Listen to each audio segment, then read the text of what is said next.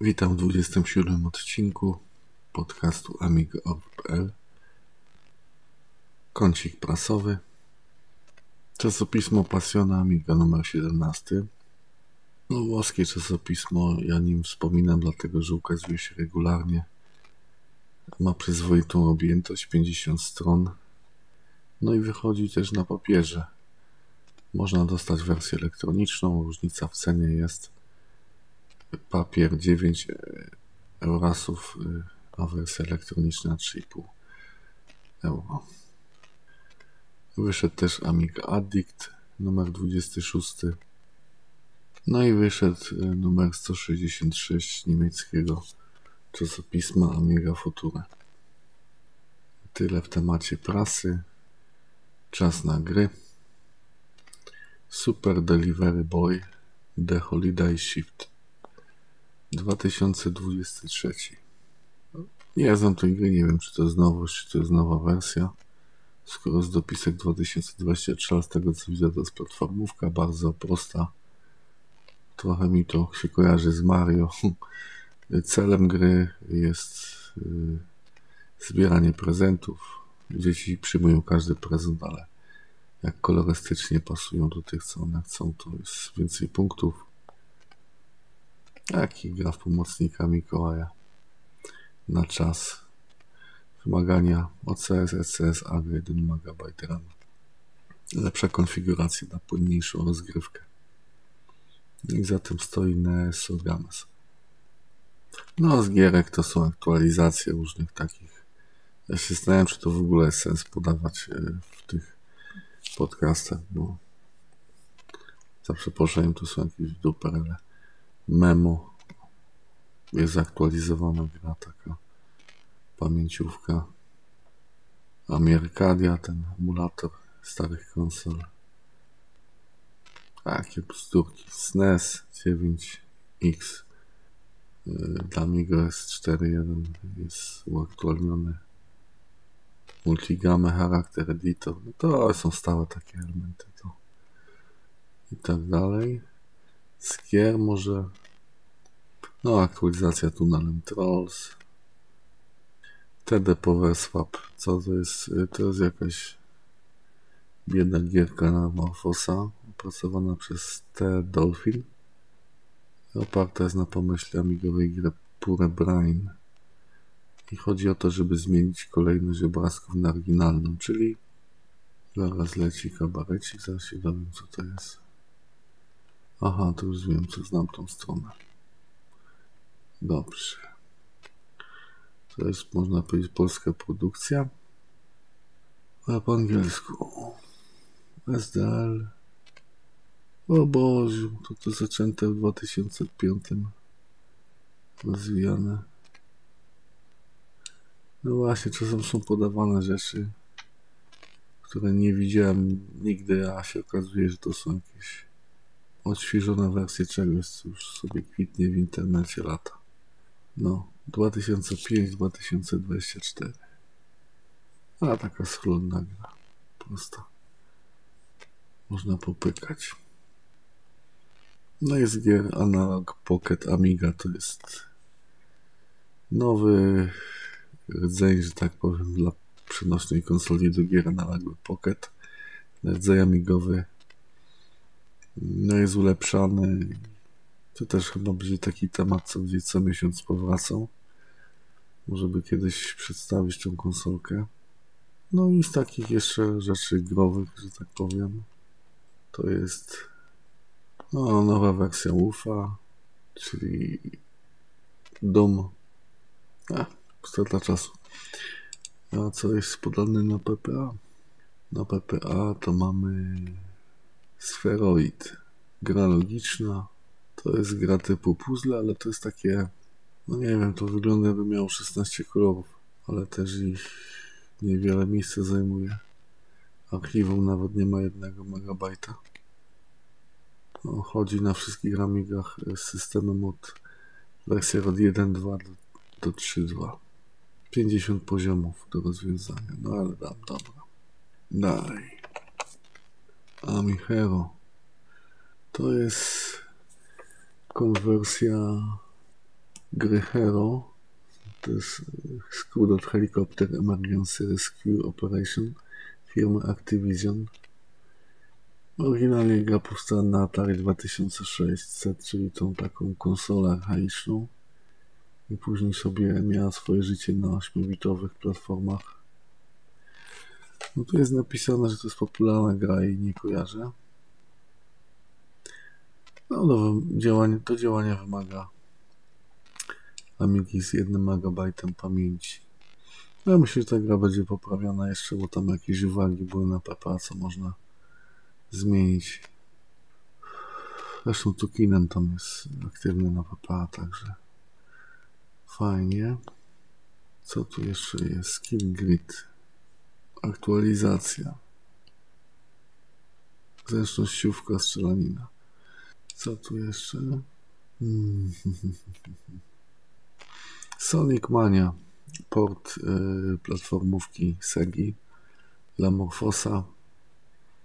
Wymagalny nowy system 3.18 i nowa biblioteka SDL2. No i oryginalne dane gry, czyli ten plik data RDSK. No i w sumie z gier tyle. Tak skromnie, bo wy, wysyp tak zwany był w grudniu. Mm, czas na programy. Pierwsza rzecz y, do omówienia to jest NetSurf. Puszczony w ostatnich dniach grudnia. NetSurf 3.11. Y, no dosyć długo czekaliśmy na nową wersję tej przeglądarki internetowej. Jeśli wierzyć temu, co jest na stronie autorów, to poprzednia wersja była w maju 2020 roku.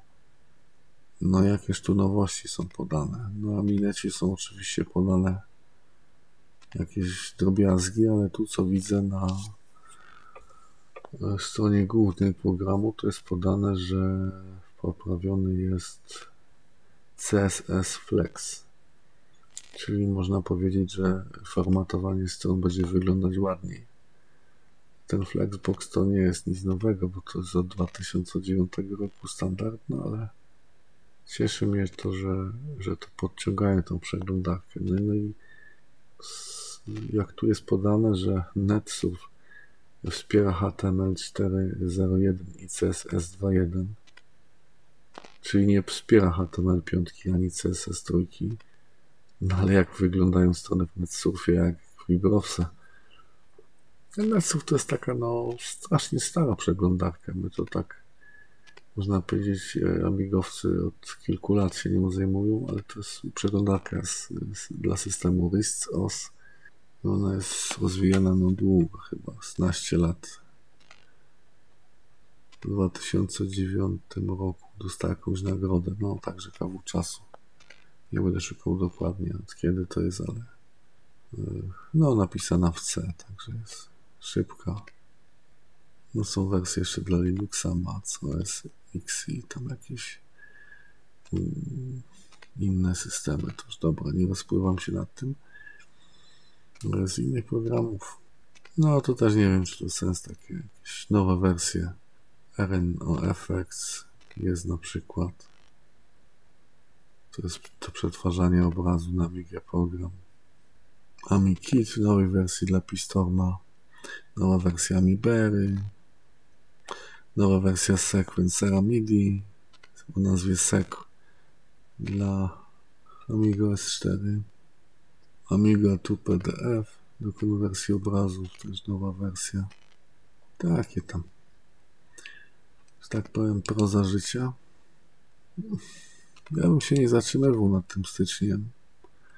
Dla mnie taką najważniejszą wiadomością stycznia to jest niestety śmierć sklepu Wesalia.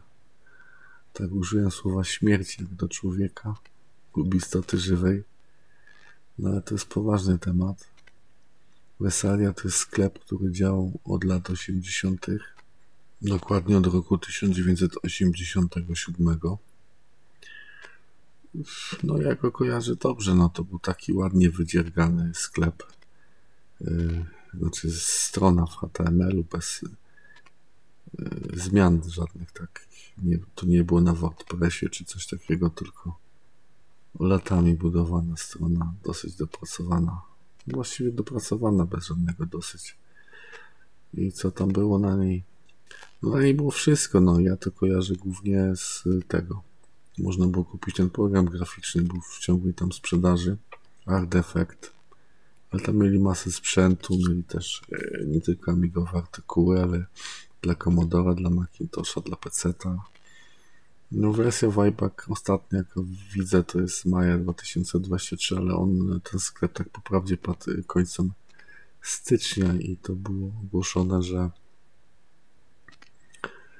no, że to, co im zostało, to będą wysprzedawać na eBayu. Jak już wysprzedadzą to, co na eBayu, to już będzie koniec. Także no, oferta jest na eBayu skromna. Wychodzi na to, że dużo z tych rzeczy wisiało po prostu e, wisiało w, w, tak jak na szefu Zinę ten sklep, no ale faktycznie z tego co widzę na tym na eBayu teraz, no to mają tam jakieś procesory Motorola kartę Terrible Fire, jakiś tam Romy Clanton, coś tam mają, to nie można powiedzieć, że to była fikcja, bo tam jakieś resztki magazynowe mieli. No szkoda, no szkoda, bo tak powiem, no padają wielcy, no bo Wesalia to już może tak ostatnio nie była wymieniana, bo tak są, że tak powiem, teraz bardziej takie lubiane sklepy. Na przykład chyba więcej ludzi kupuje w sklepie Alinea, kupowało. Czy tam u Leamana. Ale no, no mi osobiście bardzo szkoda jest tego, tego, tego że tak się potoczyło. Co oni tam y, mieli z takich rzeczy? Zanurzę się w Vibeback, bo to chyba ostatnia okazja, żeby powiedzieć o tym sklepie. No joysticki mieli, jakieś obudowy do maliny, breloczki, plakaty, maskotki, kubeczki. No, no myślę, że myślę, że nie będzie przesada, jak powiem, że to był sklep z największym asortymentem ze wszystkich sklepów amigowych. Dobrze, znaczy nie dobrze, no ale dob nie będę już tego rozwijał. Zostawię link do Vibeback żeby sobie przeglądać. Słuchajcie, z Vibeback jest taka sprawa, e, że strony, które nie są odwiedzane, te w to one czasem są kasowane. Zwłaszcza jak są mało znaczące.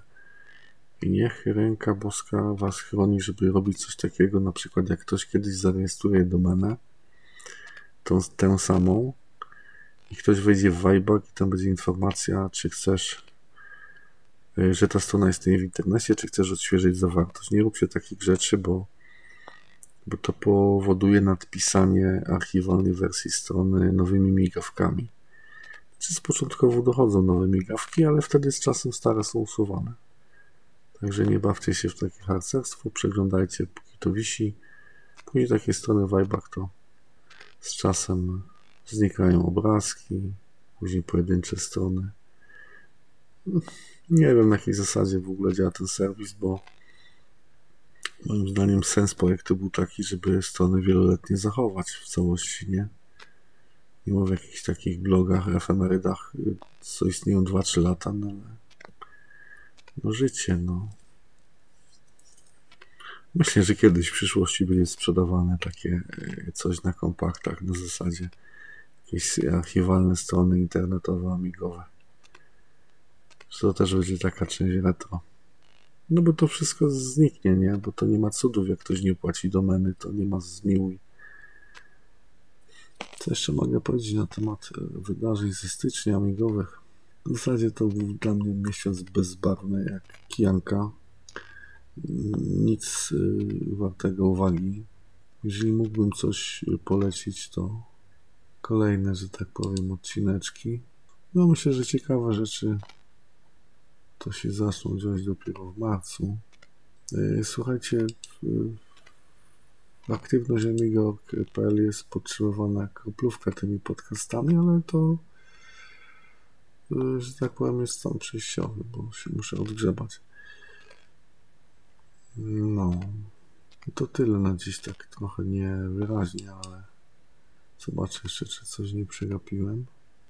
No, powstała strona y, dla deweloperów systemu Amiga OS 3. No, to założył Walkero. Tam na razie wisi trzy artykuły.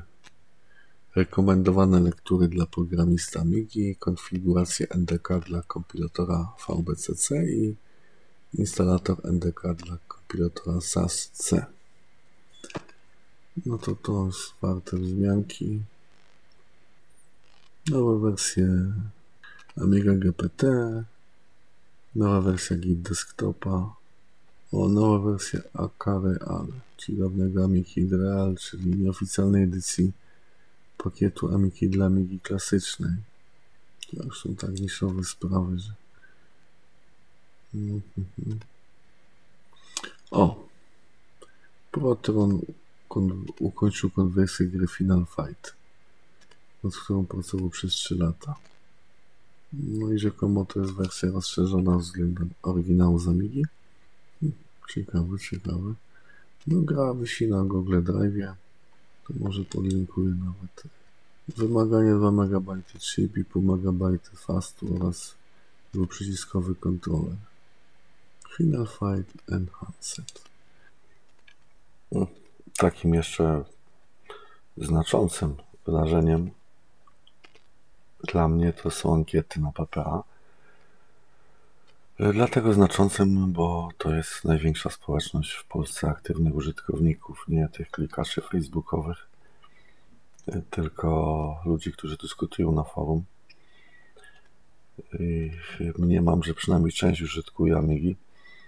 Na ankiety odbyły się w grudniu, opublikowane były w styczniu i to było właściwie kilka ankiet. Wyniki hmm, no są niespodzianki i nie są. E, w kategorii program roku 2023 dla Amigi klasycznej połowa głosów poszło na program IMP. To jest chyba jedyna sytuacja, kiedy jest tak miażdżące zwycięstwo i to było 25 głosów na 49 oddanych. No i tu warto zauważyć, że w żadnej kategorii nie było więcej jak 50 głosów, czyli ta społeczność aktywna jest coraz mniejsza. Tam co prawda w wątku na forum ludzie piszą, że nie widzieli ankiety, no umówmy się, jeżeli ktoś pisze, że nie ma czasu, yy, że tak powiem, szukać na stronie, gdzie to jest, no to właściwie to tylko pokazuje, że to jest jakieś dziesięciorzędne zainteresowanie Amigą. Ankiety są zawsze w prawym górnym rogu. Jak jest miniaturka y, czasopisma Amiga Friendship, to zaraz pod nim są ankiety. Wiadomo, że jest ankieta nieaktywna, no to tam nic nie ma. Ale jak się przejdzie środkową część główną, to znaczy te nowiny, jak są ta główna taka ściana, ten blok szeroki, to tam na dole są takie pozycje jak wcześniejsze wiadomości, archiwum aktualności, archiwum ankiet. Także można sobie przeglądnąć. No, głosujący są ukryci, są tylko pierwsze i ostatnie litery tych ników. No ale wracając do wyniku ankiet. W kategorii tej samej, czyli programu roku dla MiGOS 4, 32 głosy i 1 trzecia przypadło na Ibrowse. No i to się niestety komentuje samo. No, przykre kategorii dla systemu Morphos y, pierwsze miejsce zajęła przeglądarka Wayfarer, a na drugim miejscu Git Desktop. No i właściwie dla mnie to są takie typowe głosy oddane na Amigę nowej generacji. Dlaczego u nas tak wyszło w Amiga S4, że się głosuje na Ibrowsa? Nie mam pojęcia. Tam niby jest Hollywood na drugim miejscu, ale to tak miernie wyszło. Jeśli chodzi o gry, to dla Amigi klasycznej zarządził port gry Dark Forces e, oraz e, zanim Reshot czy Proxima, to taki ekskluzyw dla Amigi, nie port. Systemy Amiga OS 4 to trzecia część Doma i port Vipouta, no i dla Morfosa również port Vipouta ten sam i Fallout 2. No mój komentarz jest taki do całości. Przede wszystkim ludzie nie znają tych programów nie wiedzą na bieżąco, co wychodzi. Jak już głosują, to głosują na znane pewniaki. No i jeżeli ktoś głosuje na grę dla Migos 4 Dom 3, i głosuję na program Ibrowse jako najlepszy program roku, no to o co tu chodzi? Nie wiem, ale nie wygląda to dobrze. No zobaczymy, co wniesie tabor. Jeśli dotrze do jakiejś y, znaczącej liczby użytkowników. Na dzisiaj tyle z mojej strony. Do usłyszenia niedługo.